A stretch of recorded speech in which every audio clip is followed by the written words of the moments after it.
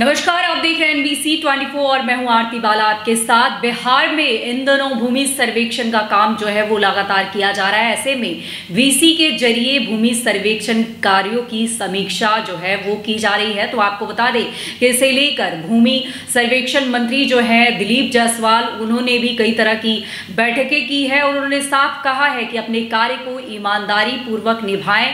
लोगों को अगर कोई समस्याएँ हो रही है तो उनके निदान को लेकर निष्पक्ष निष्पक्षता के साथ उनका निर्वहन किया जाए, क्योंकि लोगों का भरोसा जो है, वो जीतना इस दौरान बेहद ज़रूरी है। एक अलग इमेज बननी चाहिए, जिस तरह से भूमि सर्वेक्षण का काम जो हो रहा है, इस बीच कई फजीहतों का सामना भी सरकार को करना पड़ा है। ऐसे में भूमि सर्वेक्षण मंत्री जो है, दिलीप जायसवाल, उन्होंने साफ़ तौर पर कहा है कि अपनी ईमानदारी और निष्पक्षता के साथ जो है, वो काम किया जाए, तभी लोगों को काफ़ी ज़्यादा सहूलियत होगी। इस बैठक में और क्या कुछ हुआ है, वो भी हम आपको बता बिहार के ग्रामीण इलाकों में हो रहे भूमि सर्वे के दौरान हो रहे विवाद को लेकर भूमि सुधार मंत्री डॉक्टर दिलीप जायसवाल ने बैठक के दौरान सरकारी दायित्वों का निर्वहन ईमानदारी से करने की बात कही है। साथ ही कहा है कि आप न्याय की कुर्सी पर बैठे हैं। आपके किसी निर्णय से किसी के साथ अन्याय नहीं होना चाहिए। इस सिद्धांत को आप अपनी ज़िंदगी का मकसद बना लें।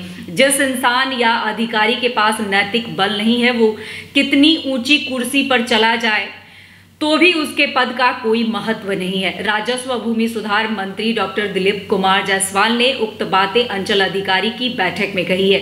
बता दें कि इस अंचल अधिकारियों की बैठक का आयोजन दशरथ मांझी श्रम और नियोजन संस्थान पटना के सभागार में किया गया था, जहाँ माननीय मंत्री ने अंचल अधिकारियों को विभाग के अभिभावक की हैसियत से संबोधित किया और उन्हें नैतिकता सदाचार और अच्छे आचरण का पाठ पढ़ाया।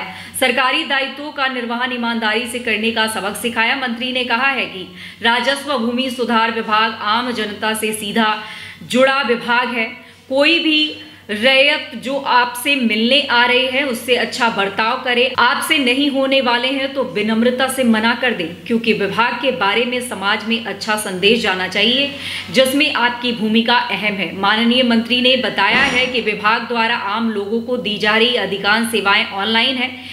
इसलिए इनके बारे में ठीक से जानकारी प्राप्त कर ले। विभाग की बैठक का आयोजन सॉफ्टवेयर में किए गए कुछ नए सुधारों के बारे में जानकारी देना। इस बैठक में एक सौ अड़सठ अंचल अधिकारी शामिल हुए थे। उन्हें मुख्य रूप से म्यूटेशन प्लस और परिमार्जन प्लस के बारे में बताया गया। विभाग ने इसके ज़रिए म्यूटेशन और परिमार्जन में आम लोगों को कई सहूलियतें दी है और अंचल कर्मियों को और जिम्मेदार बताया है। तो आप, आपको बता दें कि बैठक के दौरान तीन अंचल अधिकारी अपना लॉगिन नहीं कर पाए। इनके खिलाफ आरोप पत्र दायर करने का भी निर्णय लिया गया है। सचिव जय सिंह ने यह भी स्पष्ट किया है कि अगली बैठक से पूर्व अगर सुधार नहीं दिखा तो दोषी अधिकारियों के खिलाफ कड़ी कार्रवाई की जाएगी। बैठक में विभाग के अपर सचिव अरुण कुमार सिंह समेत विशेष सचिव, संयुक्त सचिव और अन्य पदाधिकारी जो हैं वो मौजूद हैं।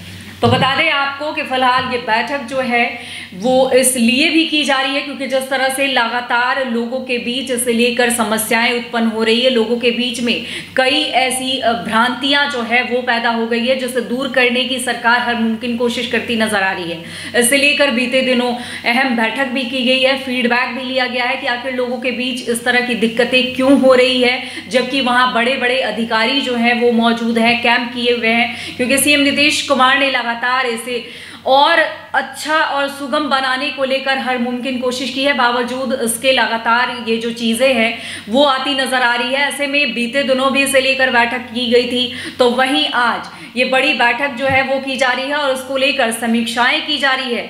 और साफ़ तौर पर कहा जा रहा है कि ये ऐसा विभाग है यहाँ से लोग सीधे तौर पर जुड़ते हैं। ऐसे में किसी तरह का जो है किसी तरह की असुविधा उन्हें ना हो इस, इसका खास ख्याल रखना चाहिए। साथ ही सरकारी अधिकारियों को उन्होंने साफ़ तौर पर कहा है कि अगर आपको ये बातें जो है वो समझ नहीं आती है आपको उनकी शिकायतें जो है वो समझ नहीं आती है तो आप बेशक मना कर दें। लेकिन इसमें किसी तरह की कोई गड़बड़ी को बर्दाश्त नहीं की जाएगी। इस तरह की बातें निकलकर सामने आ रही है। तो फ़िलहाल आपको बता दें कि भूमि सर्वे को लेकर सरकार हर मुमकिन कोशिश कर रही है कि लोगों के बीच कोई दिक्कतें ना आए। बावजूद इसके जिस तरह से बातें निकलकर सामने आ रही है, उसके निपटारे को लेकर कई अहम बैठक की जा रही है और ये बैठक जो है, वो इसलिए भी की जा रही है ताकि अधिकारियों को ये बातें समझ आ सके कि उन लोगों से कैसे जो है वो पेश आना है।